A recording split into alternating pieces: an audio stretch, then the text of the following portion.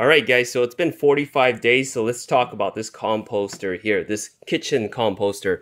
Now, again, this is the inside with the little pot right here, little ceramic pot right here, and I want to show you how much compost this has made over here. Let me go ahead and show you that.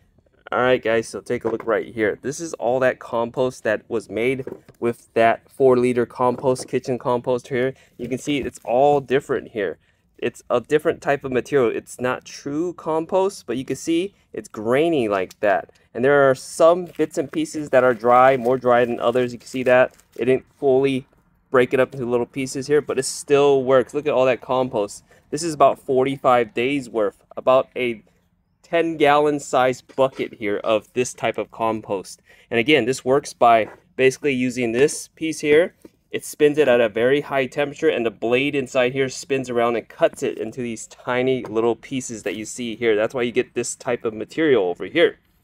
Okay guys, so it's been 45 days here with the GEME over here. So let me go ahead and show you this right here. It's been running for a while right here, but let me open this up and show you after 45 days. Now I have a family of four and look at how much compost has built up inside here. I'm almost at the line right here. And this compost right here, if you can see right there, Remember, it originally started with this bag right here, this small bag, and it was very low, below the blade. Let me go ahead and move this around here. You can see all this different stuff.